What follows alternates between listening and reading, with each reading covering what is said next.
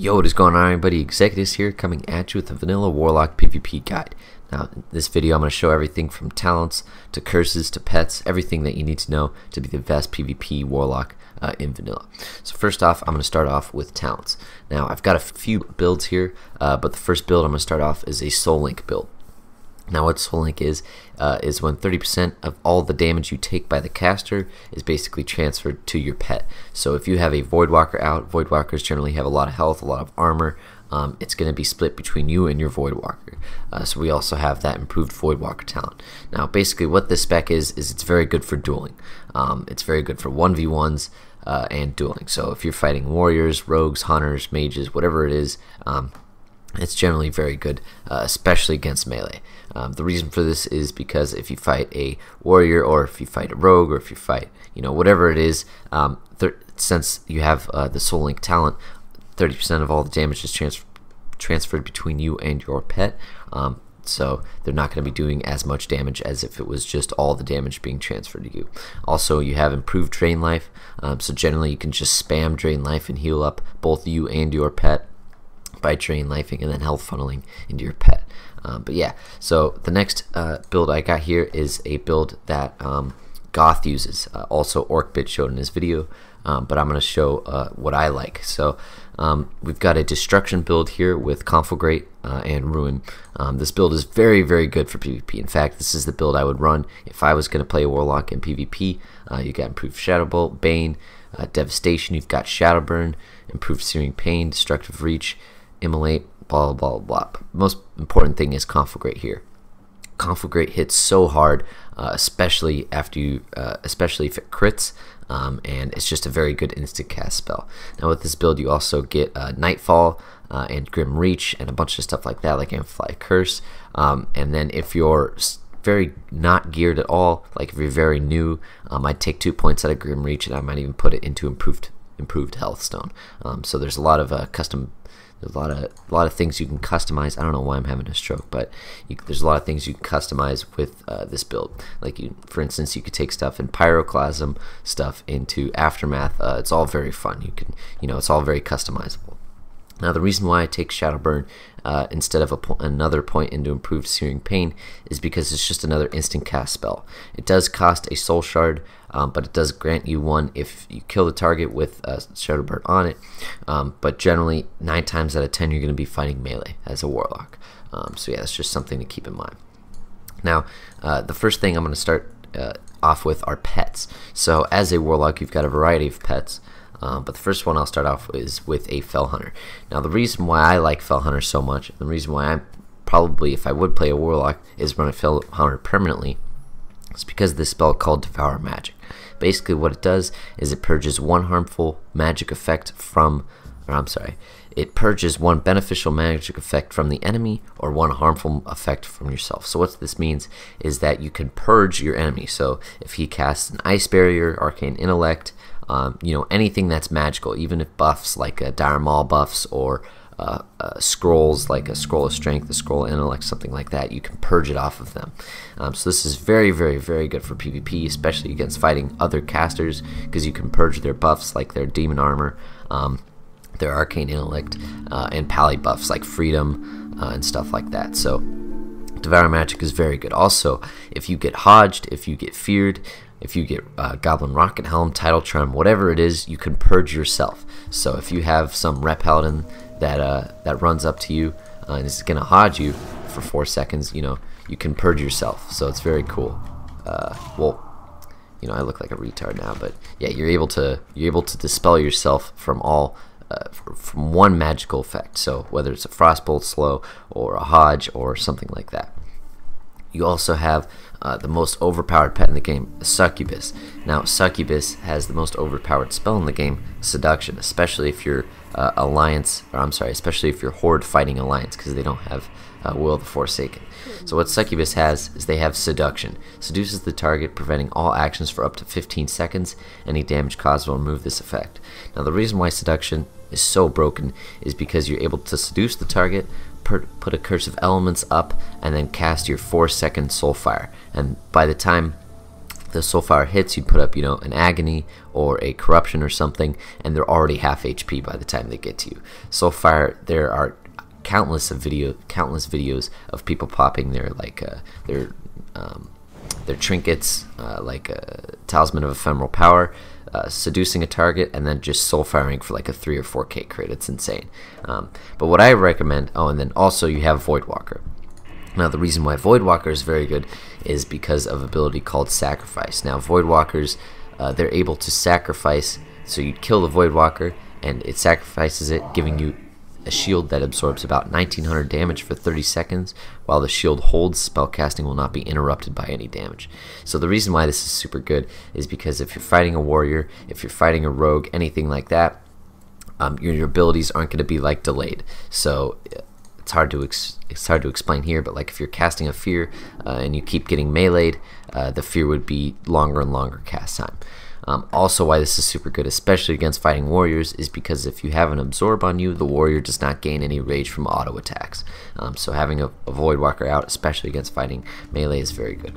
Now, I like permanently running a Felhunter, especially in battlegrounds, because even though basically 9 times out of 10 every fight you're going to run into is a warrior, a hunter, rogue, whatever it is, a melee DPS, there's still that uh, few chances that you do fight in fight a mage or a priest or another warlock. And if that's the case you will just completely annihilate them. You have a interrupt on a 30 second cooldown that prevents all school of magic from being cast for 8 seconds if you actually land it. And it also has a blanket silence for 3 seconds as well if you miss the kick.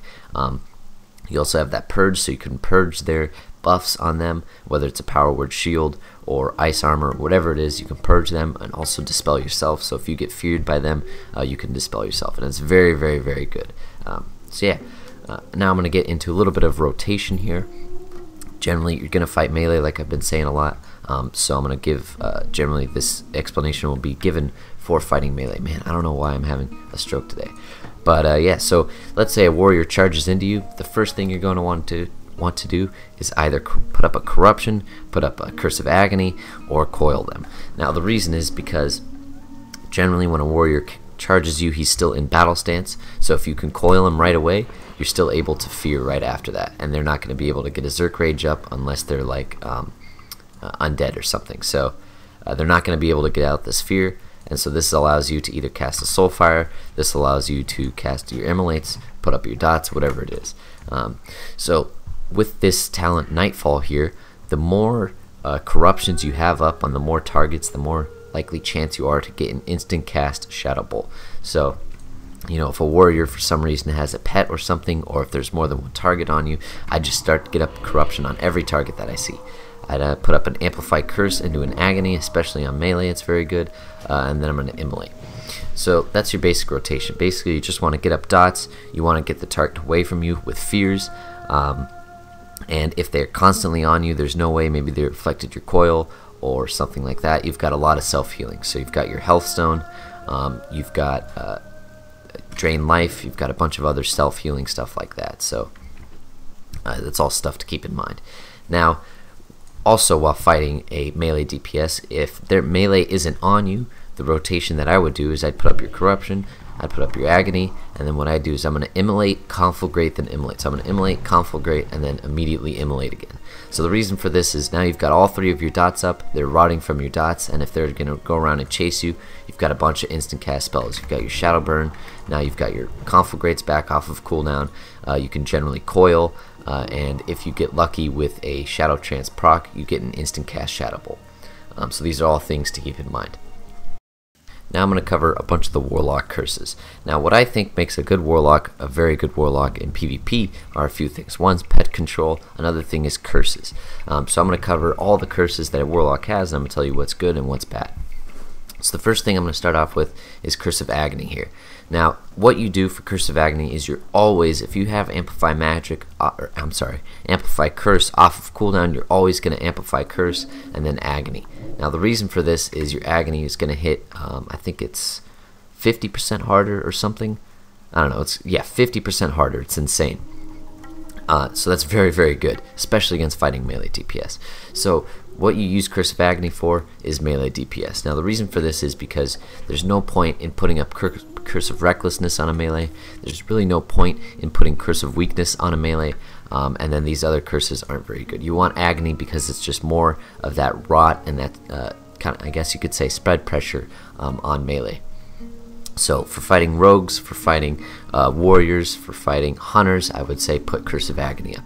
Now for fighting other classes, um, what I'm going to say is put up other curses. So if you're running uh, a succubus pet, Curse of Shadows is very good, as well as Curse of Elements is very good. So if you have a Succubus pet and the target is in a Fear, if the target is in a, a Seduction, I would put Curse of Elements up. Basically what it does is reduces their Fire and Frost resistance by 75 uh, and increases that damage taken by 10%. So that's 10% more damage on your Soulfire or 10% more damage on your Shadow Bolt and your uh, Shadow spells. Um, so that's very good for having a target that's in CC. Once the target's out of CC, I would change uh, the curse. You can only have one curse up at a time. The next thing is for fighting casters. So Curse of Tongues is absolutely broken, especially against fighting casters forces the target to speak demonic, slowing their casting time of all spells by 60%. So this is insane, especially against fighting uh, casters that cannot dispel curses. For instance, paladins and priests, they cannot dispel curses, and it just completely destroys them. Fighting mages, putting Curse of Tongue up is very good because this forces them uh, to use uh, Decurse. Um, so it's a global for them as well as a global for you. Uh, and generally, you'd want to perk put Curse of Tongues up after you've got some of your dots like Corruption and Immolate up. So you can you put uh, Corruption up, then you Curse of Tongues, uh, and then if they're very bad, they won't realize that Curse of Tongues is on them, or if they're good, they'll just continually uh, decurse themselves. Um, and you will also spam it. Also, against um, other warlocks, this is very good as well because it makes them uh, cast their casts longer. Uh, if they also have a um, Felhunter out, they will be able to dispel it. But what I recommend is that you banish the Felhunter. So uh, you banish their pet, they may they may banish your pet. You put a curse of tongues up, they may put a curse of tongues up on you. Um, so warlock fights are very uh, very intricate. Um, so yeah, uh, those are a few curses that I would recommend. Curses that I don't recommend. Don't waste your time on Curse of Doom it basically takes uh, a minute for it to actually go off. So if somehow you magically CC the target for a minute, they're going to take uh, a lot of shadow damage. Um, but yeah, I wouldn't recommend Curse of Doom. Uh, I mean, I guess you could Goblin Rocket Helm into like five fears, and then into like a stun, into like I don't know a seduction or something, and then and then maybe Curse of Doom might go off. Um, but it's not worth your time. Just don't even waste it. Uh, it's good for uh, PVE, but yeah. Um, Curse of Idiocy, uh, it's also pretty bad. Curse of Recklessness is very good for certain things, but it's very bad for a lot of other things. So it curses the target with Recklessness, increasing their melee attack power by 90, but reducing their armor by 640 um, and then it will make them immune to fear and horror effects. Now, it's good if you're in like a team fight or something and you put Curse of Recklessness on like a pally or like a warrior that has a lot of armor, but it's terrible for 1v1s. The reason is because your magic spells don't apply to armor, armor doesn't apply to magic spells, it's only for melee damage, so it's pretty pointless. Um, and then Curse of Weakness is just kind of bad in my opinion. Reduces damage by 31. That's your max rank spell. That's awful. Just put up Curse of Agony agony. Um, so yeah, those are the curses. Um, and then one last thing I wanted to cover, well not last thing, but one thing I wanted to cover is that if you do have a Felhunter pet out, there is a awesome Felhunter macro. So um, what I would do is I'd put your Devour Magic on your bars, uh, like I have here. I'd put one to purge the enemy, so I'd purge the enemy once if they have something to dispel on them, uh, and then I'd also have one to purge yourself, so to dispel yourself. Now what this macro is, is its target and then your name, then script cast pet action 4, which would be your fourth action slot on your pet's action bar. So so if your Devour Magic was over here, it'd be like pet action 7 or something, but since it's here, it's pet action 4. Uh, and then your pet will target the last target. So if we're attacking this character, um, and then he hodges me, I'm going to dispel myself, and then the my pet will continue to attack this target. So that's something else. Um, so yeah, uh, the last thing I'm going to cover is uh, a few other spells. Um, as a warlock, you've got a bunch of utilities. So there's something called spellstones. Now, what this is um, is under your uh, spellbook, under your demology page, and you have a lot of variety here. You have something called Firestone, Soulstone, Healthstone, Spellstone, and um, yeah, I think that's it. But basically, what a Firestone is is it increases. I think it enchants your main hand weapon with a fire attack, uh, granting extra damage. I don't think it's very good. Don't waste your time on a Firestone. But what you definitely need to make are major health stones. This is a lot of self healing, 1200 health, and it has a chance to crit to 2400. I think it's very good. Uh, also, you have soul stones that you can create. Uh, a soul stone basically lets you resurrect if you've died. I would do a major soul stone. Um, and then last but not least is a spell stone. Now spell stones are super super super cool. Basically what it does is it replaces your offhand uh, and when equipped and used the major Spellstone removes all magical effects from the caster and will absorb 900 magic damage for one minute. Um, and then if you have that equipped, you also increase your critical strike with spells by 1%. Now the reason why Spellstones are so awesome is that if you are spell locked, whether it's an improved counterspell or a uh, just a blanket silence from like a priest, or if you have a bunch of dots on you, or if you have like frostmate bolt, uh, frostbolt um, slows on you, if you pop your spellstone, it will remove all of those. So all harmful magic effects. If you use your spellstone, it will remove all of those harmful magic effects. So remove the silence, it will remove the slow, it will remove um, all the dots, but you can't be in CC. So it's not like you can use it in a fear and it will remove the fear. Um, also, in addition to that, it will absorb an extra 900 magic damage. So if they cast another Frostbolt, or if they put another dot on you, it's just going to absorb until this is gone. So Spellstones are very, very, very awesome for PvP, only when fighting against casters. Um, so yeah, that's uh, basically Warlock. Um, you've got a lot of utility with your coil, your fears, uh, your drain life. You've got a lot of self healing uh, with coil, drain life, uh, spell. Uh, I'm sorry, health stone. Um, and then you're able to purge yourself. You're able to purge the enemy. Uh, you've got instant cast damage like Shadow Burn, and maybe if you get lucky with a corruption proc, you get an instant cast Shadow Bolt. Um, now another thing that's good is you've got your demon armor as well. It increases your armor by 570 and increases your resistance to shadow effects by 15 and restores 15 health every 5 seconds for 30 seconds. Um, so yeah, uh, I basically covered just about everything. I'm not going to really cover engineering uh, in this guide. The reason for that is because uh, I have already covered engineering in like every other guide. You know, all your trinkets, your your uh, your Net-o-Matic projectors, your grenades, uh, your rocket helms, those are all very broken. I don't really have to cover that uh, again. Um, last thing I think I'll cover are uh, a few things, a few ways you can outplay your opponents. So one thing I mentioned earlier is that you can banish uh, your the enemy's pet. So if you're fighting, if you're doing a, a warlock 1v1, you're 1v1ing another warlock, you can banish their pet. Um, another good thing is if you're 1v1ing a Shadow Priest, Curse of Tongues, or if you're 1v1ing a Ret Paladin, Curse of Tongues is very good. Um, also, you can bait out uh, your Death Coil with like an instant cast. I finally got Shadow Trance. If I like back up, I can Shadow Bolt and then Death Coil right away, and it makes basically looks like two Death Coils. It's the same animation. It looks very cool. Um, and then another thing that you used to be able, or not used to be able to, but if you spec into Curse of Exhaustion, you can have a slow. Um, so if you do Amplify Curse and then Curse of Exhaustion, you can reduce their movement speed by 20%, uh, and then it allows you to kite a little bit. Um, so yeah, it also one last thing, you've got Life Tap, uh, converts 420 health into 420 mana.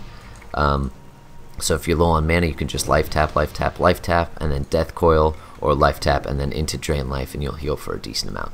Now this is bugged on the server, but um, yeah, Drain Life does generally heal for about 130 a tick. Uh, you also have your Shadow Burns, so uh, soul shard management is a big thing in PvP. Uh, you generally either run out of soul shards or you have a lot to spare. Um, so right before the target's about to die, I would always shadow burn them, or I would sit there and spam uh, drain soul. If the target dies while you're draining their soul, you get a soul shard.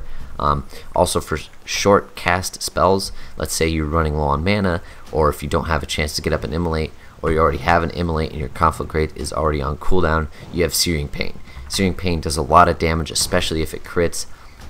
Um, and it's just something that you can spam, and it's very helpful. Um, remember to fear as fear off of cooldown, shadow burn off of cooldown, conflagrate off of cooldown, all the stuff like that. Thank you guys so much for watching. If you have any questions, let me know in the comment section below. Uh, I'm gonna leave a link to that macro as as well as a link to like a few goth videos because you can learn a lot just from watching someone else PvP. Thank you guys for watching. I'll see you in the next video.